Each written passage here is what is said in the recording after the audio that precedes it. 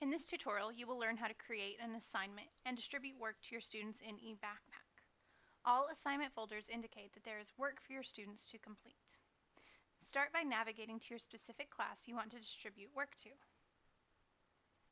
At the top of the left-hand column, click the Actions drop-down list and select the Add Assignment option. You could also create your assignment in My Files to ensure that you have access to the assignment folder year after year. After you've selected Add Assignment, a box will pop up asking for the assignment parameters. Start by entering a name. We recommend unique names for each assignment to prevent confusion for you and your students. Next, enter any instructions or guidance your students will need to complete the assignment. You can include URLs to any website and eBackpack will automatically hyperlink those web addresses so all your students have to do is click the link. Below the instructions are options to set the due date and due time if you want something different from the defaults for the class. The last two options are Allow Turn-In and Allow Late Turn-In.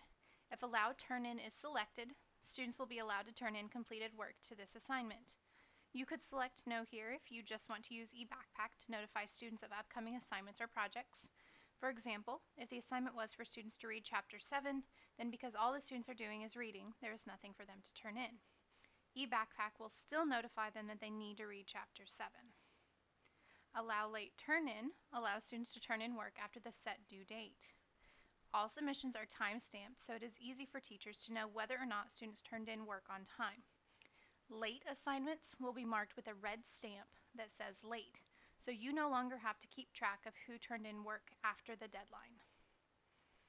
After you have the assignment parameters set up, click the Add button at this point, you have the shell of the assignment created, but nothing has been distributed to the students yet.